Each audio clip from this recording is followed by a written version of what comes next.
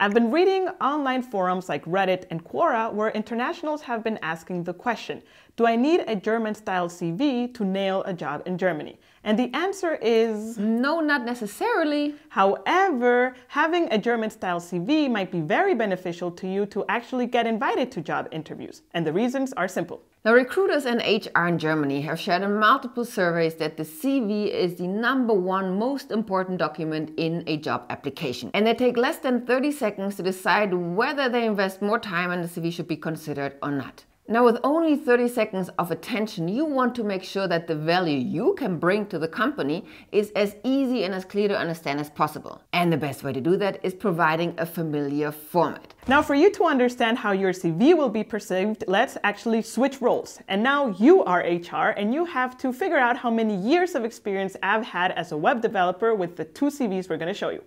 One CV is going to be a designery one, actually one of my old CVs, and the other one is one following our German style CV template. So let's start with a designery one and you will have five seconds to figure out how many years of experience I have as a web developer. Go.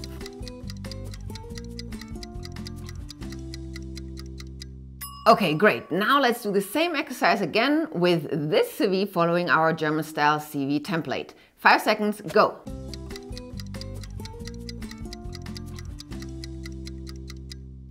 Fantastic, that's it. Exercise is over. Now we hope that you could see the difference and realize that following a German style CV, it was a lot easier to scan the dates on the, the column on the left and figure out that Jen at this point of time had three years of experience as a web developer. Now it was a little tricky because that was of course in the past. Usually you would know when present time is, but you also see that there's a date at the CV, which point it was dated in 2019. Now the designery one, I don't know how you feel, but when I looked at it, and back in the day we didn't have the experience that we have now or looked into it so much, that's why it looked the way it looked. Um, I couldn't find the dates at first glance. I had to search. I had to waste valuable time to find the information I was looking for and hence had less time available to then actually follow up on other things I want to know. I hope you feel the same. Let me know in the comments. So by following this format, you're not pretty much doing yourself a favor, you're actually helping the other person, the one reading your CV, to quickly find the information they're looking for. Because one of the first things is how many years of experience does this person have? It's like the critical point. Now let's look at other principles a German style CV will have. Next to the possible two column structure we already highlighted is of course also the length of a CV. Now there's a lot of talk out there, but we strongly believe that a German style CV should not be longer than two pages. Again, 30 seconds. If it's four pages, no one will look at that. And I would question, is this all relevant? Yes, there's also talk that sometimes they say per 10 years of experience, you should add another page. But at the end of the day, do 30 years of experience in the past matter for what job you're supposed to perform right now? We don't believe so. We believe your CV should be relevant for the position you're applying for. When you were a hiring manager in Germany, would you ever receive more than two pages in a CV? No, but I also wouldn't be hiring people with 40 years or 30 years of experience. Mm. So that is an unfair question. Yeah. Okay. Now, next up, and this one is super important because we have seen various CVs that are not German or for the German market. And the first thing that I see on my reaction is like, Pah! because there is no white space. Now, for the German eye, I mean, I'm so sorry that I always say German, but at least for the German market eye, how about that? Um, there needs to be white space uh, between paragraphs uh, as a frame, a margin around the page. Don't squeeze as much information as possible on the page because you think, the more the better, but rather limit the information to what's relevant and make that concise and easy to understand.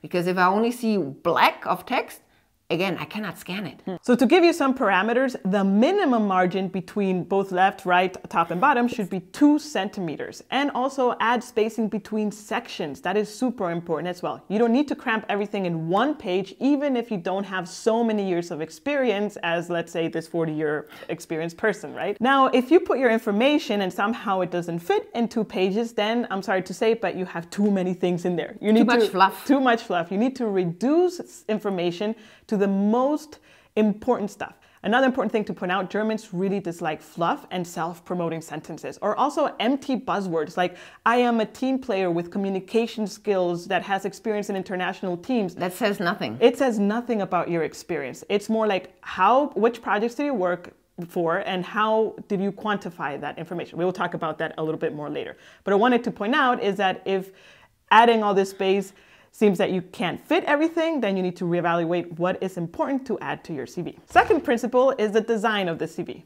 And here we go again to less is more. Keep it simple. And there is this whatever reason in the world that it needs to be designery and modern and chic and hip.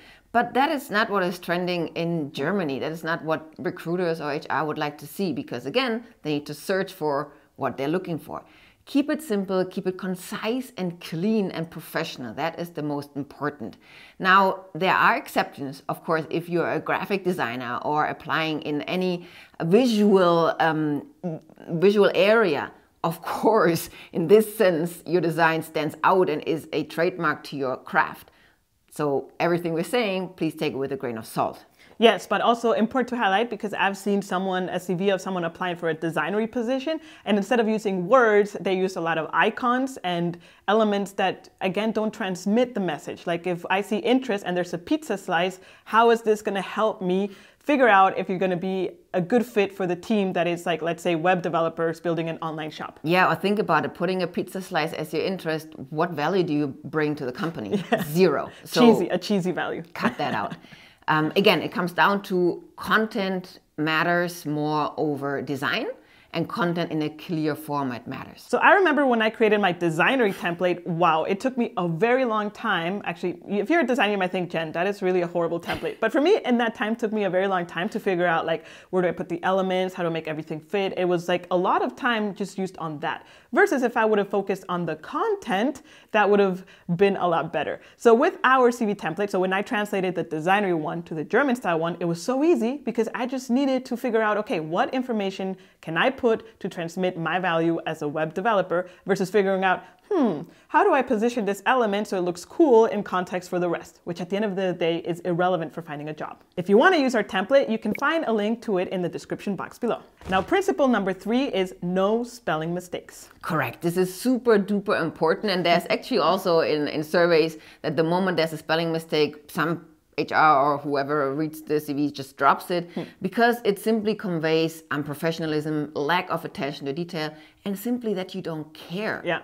Now, did you spot the spelling mistake on my designery CV? If not, I put it here for you to see it. And doesn't it look horrible? If I would read that, I'd be like, dude, seriously? like, no, let me give a chance to someone who is more serious about this job application. Principle number four is the order of the information.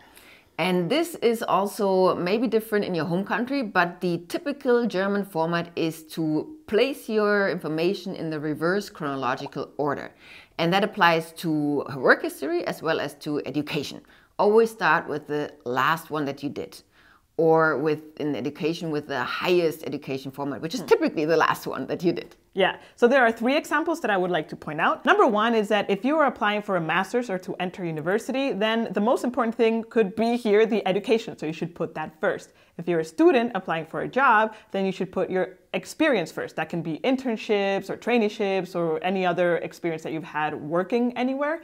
And the other thing is what happens if you have, let's say, 10 years of experience in the field and you're transitioning, let's say, to software development and you want to apply for jobs, what do you put first? So you should, the CV should be focused on the new role that you want to um, apply for. Let's say you have 10 years experience in marketing and you just completed a bootcamp in software development and you want to get a job there. So the first thing that I need to see from your CV is that you are and want a job as a software developer. So the first thing should be your bootcamp, your project that you did. And let's say if you do put a professional profile, which we talk about more also in our uh, CV template, whether you should put one or not, um, the first sentence should be junior software developer or software developer with X amount of time and projects. And then you can, of course, phrase also with 10 year experience in marketing and highlighting how that experience helps you because maybe you have more understanding of um, a website design, of, uh, of a user flow, of, of how a button could work here. It's a little bit of a flow between UX and development. But highlight first what you want to get, what job you want to get, and what value you bring, and then blend in your experience, how that adds value to the company. Don't go in as a 10 year uh, 10 year professional marketing because then it's like wait i'm not looking for no marketing experience. yeah, yeah. i'm looking for a software developer. Yeah fair point. Principle number five is to quantify your achievements. But the big question here is what does quantify mean so for my understanding quantifying means to add numbers to an outcome to a mm. result um, that you have been able to drive now this sometimes can be quite difficult because maybe you don't know what outcome you had in the past in terms of numbers but it's okay to give it as a rough estimate for two reasons. One, whenever you have numbers in a CV, they catch my eye. When I'm scanning, hmm. I see numbers more than words. Hmm. So the moment I see a number, I hold and I read maybe five words, and then if they are intriguing, I continue reading. And second, this is the best way to highlight your impact that you had uh, in a bigger scale. Do you have an example for us? Yes, I do. So I will give you two examples. One is as a developer, right? Because that's what I actually transitioned into. And the other one is an example when I was actually a customer mm-hmm. service mm -hmm. representative. So let's start with a developer. We'll put them on the screen. The first example, see the difference between I code projects for campaigns for different clients, supervise other projects to make sure they are running smoothly. I didn't actually wrote that in my CV, not on purpose, and set up new servers when necessary. Versus coded five websites in three months for different clients in Germany that run interactive giveaways using WordPress and React. Each website receives on average 150,000 visitors daily. So that is a quantified statement that tells me so much more than the first one. Yes, now let's go to a customer service one. The example is, I provided technical support via email and phone to sellers on the e-commerce site. Versus, I answered over 100 inquiries daily from sellers on the e-commerce website under 24 hours, which allowed the company to comply with fast response times with a 4.5 satisfactory rate. Wow, now I understand the hmm. speed you're working at. 100, in my opinion, is quite a lot within 24 hours, and I help I can and I understand that this is kind of like a value that the company would like to portray to answer fast and satisfactory. I can read so much more hmm. than just I did my job. Yeah. Next to our CV template, you would also receive a writing guide that goes more in depth of how to quantify achievements in different scenarios and with different examples. Principle number six is the photo. And I would say this is a bit of a controversial one. That is correct. Yeah, there's also a lot of talk about this. Now, to the typical traditional German CV, it always comes with a professional headshot, with a professional photo. However, there's of course also anti-discrimination laws in Germany, so there is no legal requirement to put a photo. Hmm. And we believe that you should follow what you are most comfortable with. And if you put a photo, it should be a professional one that shows you from your best side and don't put a photo that is not professional because that will only hurt you. Yes, and also I would say if you put a photo, if you can put a little smile on your face, it opens your face to being more friendly than just like being all serious because that again is the first impression the person reading it that will they, they will have like wow this is a very friendly person or wow this is a super serious person. I'm not so sure it would match with our team you know? Right the photo should be professional so ideally taken by a photographer in a studio. There's tons of them in germany um, uh, sometimes in like little malls or shopping centers and uh, you should be wearing professional attire but don't wear a suit and tie unless you're applying for the banking or finance sector. I'm also of the opinion that it's okay to wear a hoodie if you're applying for super young startup companies, as long again it's a professional photo. You know, yeah, I think that's just a, an outfit like you're wearing right yeah, now. for example. Yeah.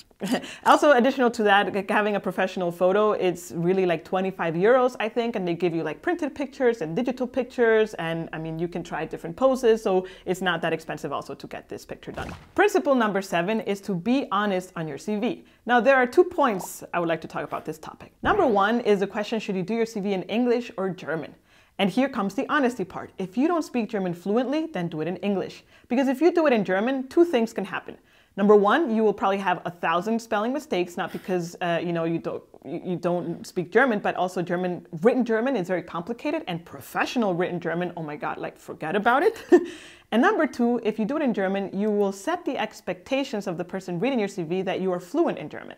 So imagine the situation that they contact you, they give you a call, they speak German, and you answer all unconfident or like you don't understand that kind of breaks a little bit the trust. So I would say if you're not fluent in German, then stick to English. Now, if you're fluent in German and you can speak German, Then it's okay to do your CV in German. However, I would recommend if you're not a native speaker to find a native speaker just to go over it because again, professional German can be very tough to implement. We have a friend who speaks fluent German, has a German passport, but he wasn't born and raised in Germany. He studied in a German school uh, back home in Guatemala, and his CV when he presented it was a mess. There was uh, words that didn't make sense or things that were out of order. Sentence structure mainly. Sentence also, structure yes. mainly. So that's just a word of warning. And principle number two in this being honest is again this gapless CV situation. If you've had a gap in your career, let's say in the last 10 years or in a relevant amount of time um, that you've been working, then you should include it and just explain why you took this gap for. Taking care of a family member, learning the language, uh, German, learning German with an intensive course, um, traveling as a career break, whichever it is, put it, explain it, and you know just kind of like say this is what i did. Now i'm ready to work again or i continued working afterwards. That way i understand what you did perfectly fine for me to follow than leaving it out and me questioning why is there a break and why did you not mention it? Hmm, exactly. Now if your break happened 10 years ago then maybe it's not relevant to nowadays so you don't need to put it i'd say. Now i have a question for you. Now to make this clear so if you don't know much about yvonne before we started simple germany she was actually a hiring manager in a company in germany and so you have experience reading cvs and actually hiring people and stuff right? So when you were receiving cvs do you remember which ones were the ones that actually um, like impressed you the most Yes, and I would say those that um, brought a point across that they took time to adapt the CV to the company and the role. Hmm. So it was not just a standardized CV that gets sent out to every like 50 different applications, but where I could clearly see with keywords, with experience put forward, with um, yeah other touches that this person um, is aware about what the company stands for, is aware about the, or at least thinks the expectations of the role. Um, and that, of course, enticed me more because I could see that the person put effort in it. And the ones that enticed me most were actually the professional looking ones and not the designery, more playful ones because I was not looking for playfulness, I was looking for professionalism. Yeah. And also, I actually did interview a few people without a picture, um, as long as the content conveyed um, that there is a potential right fit. That's super interesting. Now, if you're looking for a German style CV template, we created one for you, which you can download on the link in the description box below. When you buy this template, you will also get a writing guide that goes into really deep detail on how to fill out its section. We cannot do this in a video because then it would take a very long time, I think, and we would lose you probably. but it, it's easy to follow. And at the end of following this guide, you will have a killer CV that you will increase your chances of getting job interviews in Germany. Right. The whole package also includes two real life CVs so you also see what it should or could look like, um, as well as a checklist at the end so you can kind of like review yourself. And the template is editable in Microsoft Word and Mac Pages. You can download a copy of the German CV template and all the bonuses at simplegermany.com slash CV dash template, or you can click in the description box below. Until next time, cheers! Yeah, but maybe we should say the link below and additionally to the template. Ah, okay, okay. I don't know, it just okay. sounded better in the flow. Okay, okay. On the phone? In the flow. Oh.